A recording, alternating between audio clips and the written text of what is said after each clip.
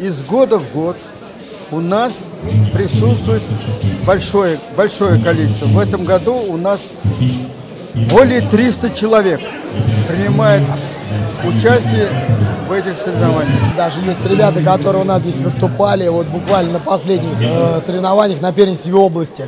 Э, те ребята, которые здесь у нас начинали, они стали победителями первенства области. Победу одержал Максим Катков, говорит Макс! Я считаю, что это прогресс для бокса, и слава богу, что ребята идут в спорт, идут в бокс.